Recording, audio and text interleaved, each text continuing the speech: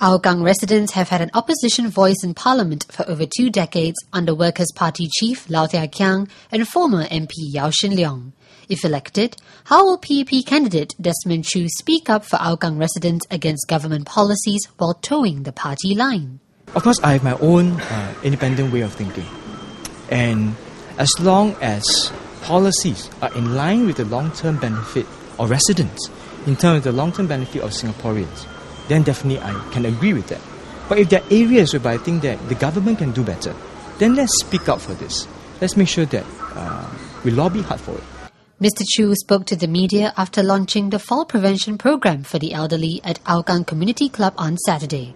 When asked if his lobbying efforts to reinstate the wet market in Hougang Avenue 3 goes against the government's decision to demolish it five years ago, Mr. Choo said the needs of residents have changed since. I think what my proposal is to uh, the government or MND um, is a very clear one. Yes, you have your reasons uh, for tearing down the market because you wanted to intensify the land use. But for me now, what is going to take care of the residents in the future? They need a market, they need commercial developments. Whatever reasons that you have before may not apply now. Let's look ahead. I've seen the new developments coming up. You have condo developments coming up you have BTOs, you're going to have ECs. There's easily 2,000, 2,500 new units in the next two to three years.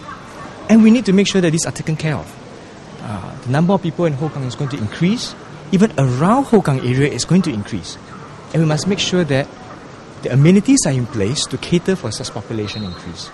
Mr. Choo added that the wet market is a clear example of how he is unafraid to speak up against policies.